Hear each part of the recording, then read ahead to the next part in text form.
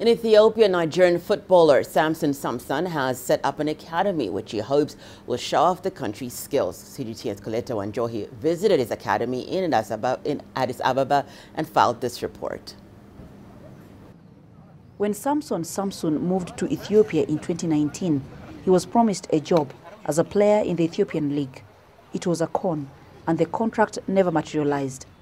But as he pondered his next move, he says he saw another opportunity, training children. Mostly in Ethiopia, then most of them doesn't believe that they can earn a living through this football or playing inter international football. So, but I just want to give them that exposure to, to give them the way and uh, how they can improve themselves in football and in, uh, in moral.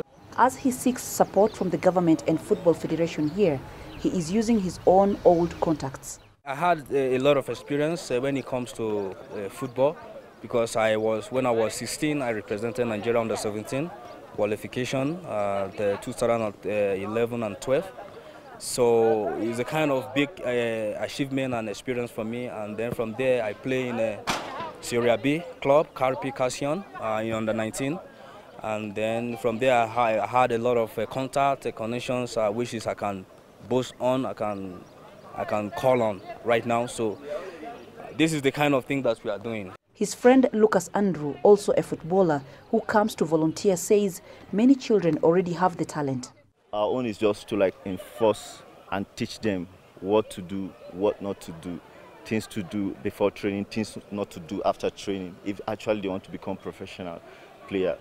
Maybe from now to three years, maybe we see some of them in uh, Ethiopian coffee, the Premier League side, or maybe the Super League side. You understand? From there, you have to start step by step. Then from there, you can go to Europe. Children whose families can afford it pay $21 per month. However, Samson says he retains those who can't meet the fees but have great potential. For now, the academy has 65 trainees between the age of 10 and 18. The coach says if they get more resources, they'll be able to accommodate even more people. The children train three times a week on this pitch in the city. It's uh, intense. Uh, the coach give us uh, good training and he wants us uh, to improve every time we come here. In my village, I don't know how to play anything, but when I come to here, I learn how to play, how to pass, how to shoot, many things. And I got good experience for this academy.